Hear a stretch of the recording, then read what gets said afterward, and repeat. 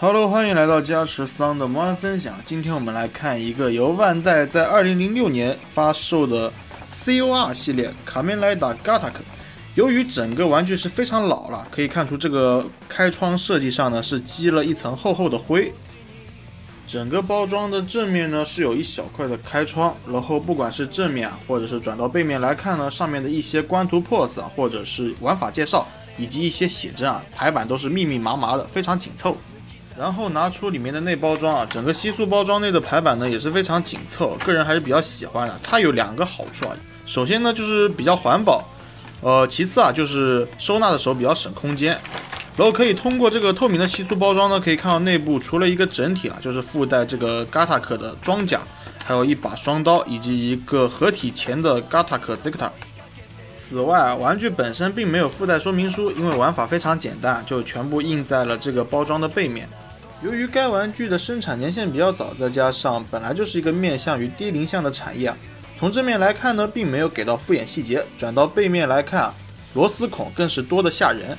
玩具整体高度达到了十七点五厘米啊，与常规的 SHF 摆在一起还是比较违和的。然后就是本款玩具的一个核心玩法，在嵌套好整个装甲以后呢，按动这个变声器啊，它就可以进行 cast off，从我们熟知的假面形态啊，变成一个骑士形态。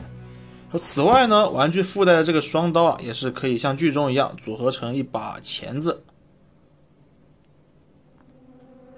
看到这里，可能会有小伙伴问吧，呃，配件里附带的这个 Gatak Zeta 能不能替换到这个腰带上？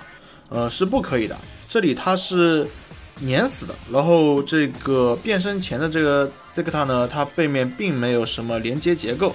爆甲后的可动，头部并不能进行上抬下低，而且平转幅度非常的小。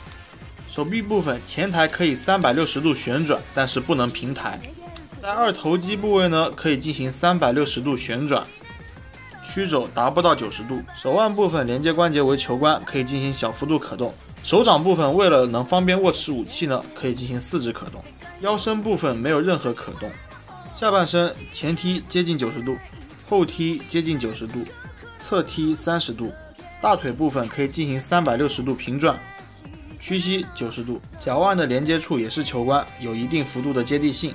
总结一下，COR 产线的玩具并不能搭配 SHF，但搭配 FRS 可能还是可以的。可动部分极差，可以说是送的，毕竟整个玩具的卖点就是那腰带的一键爆甲。然后本款刚走在闲鱼上的价格不太友好啊，非收藏向玩家不太推荐购入。